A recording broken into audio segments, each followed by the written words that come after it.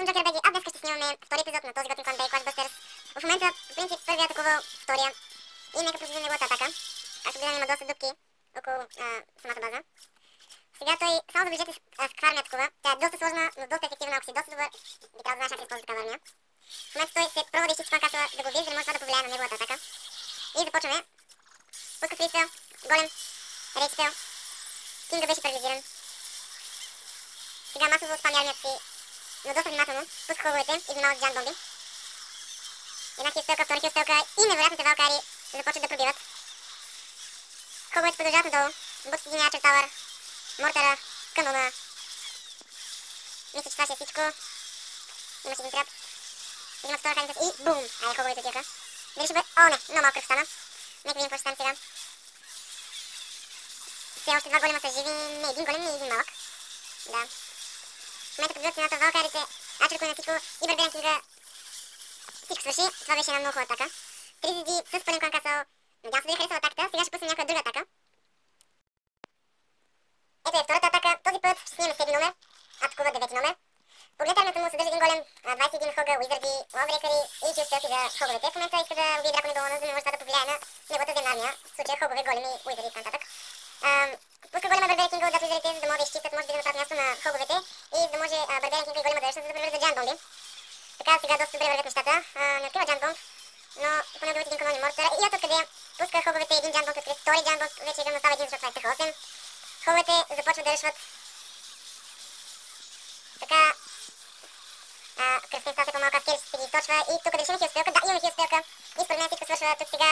Хоговете на макс кръв срещу един канон Ачер Тауър.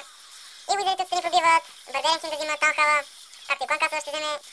Остава 20 секунди до края на атаката, както виждате, а той вече взима 3 звезди. Нека леко превъртим. И чудесна, нали, доста страхотна атака. Всичко е премислено, както първата атака, няма значение ако номер е. Атаката просто беше уникална.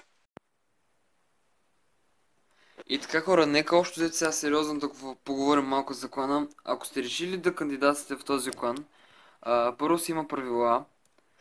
А, когато кандидатите прочетете това отгоре, от, линка отгоре, а, значи първото, което е, трябва задължително българи. А, когато кандидатите трябва да напишете, че сте българи. Иначе, а, както пише тук, ще има автоматичен режект. А, има война всеки ден. Търсят се активни играчи, минимум тъх 8. А, те са военен клан, това означава, че а, не се приемат а, хора, които играят само за бонус. Или пък а, хора, които са доста ръчнати като мен. Но по принцип, това са сръчнатите. Ако сте ръчнати, все пак пробвайте се да влезете. Ако ви одобрят, ще останете. Ако не, ам, нищо не мога да кажа за това. Просто, просто се пробвайте. Трябва просто да сте българи. А, в войните задължително трябва да направите две атаки. Според мен минимум две звезди, до сега не съм оказали, но поне минимум две звезди трябва да направите за атаките. Ще е доста добре, ако направите тези звезди. Както виждате тук, последните 25 войни има 23 победи. И това толкова, хората са толкова а, изисквателни. Защото а, само погледнете, това е доста труд. Да не забравяме, че левел на клана е 9 левел. А, ами общо ето това исках да ви кажа, много важно е. А, с това приключваме този клип. Надявам се ще направя някой друг клип за атаки а, по време на ларове, атаки, защити и така нататък.